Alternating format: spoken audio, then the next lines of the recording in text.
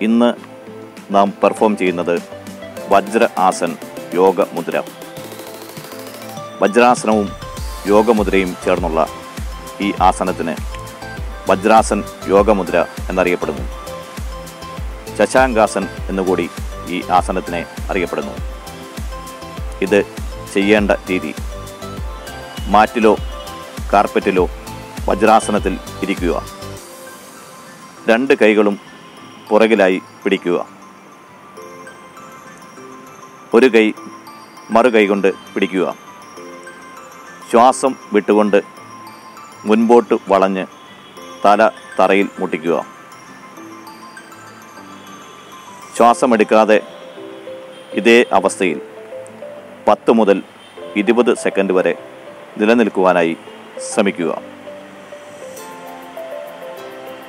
അതിനുശേഷം സാവകാശം ശ്വാസം എടുത്തുകൊണ്ട് ശരീരം ഉയർത്തുന്നതോടൊപ്പം കൈകൾ മുകളിലേക്ക് കൊണ്ടുവന്ന് ചേർത്ത് പിടിക്കുക.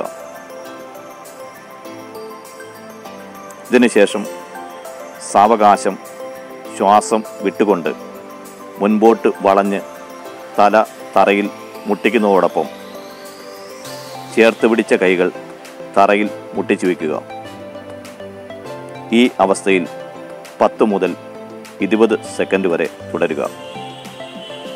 അതിനുശേഷം സാവകാശം പൂർവസ്ഥിതിയിലേക്ക് വരിക.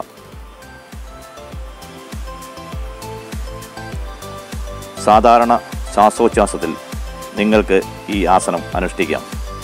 കുറഞ്ഞത് മൂന്ന് പ്രാവശ്യമെങ്കിലും ഈ ആസനം അനുഷ്ഠിക്കുന്നത് ഉത്തമമാണ്.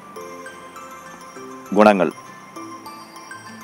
ഈ ആസനം അനുഷ്ഠിക്കുന്നതിലൂടെ ദഹന പ്രവർത്തനങ്ങൾ മെച്ചപ്പെടുന്നു. മലബന്ധവും ദഹനക്കുറവും ഇല്ലാതാകുന്നു. ഉന്മേഷവും ഉണർവും ഉണ്ടാകുന്നു. വാദസംബന്ധമായ അസുഖങ്ങൾക്ക് ഒരു പരിഹാരമാണ്.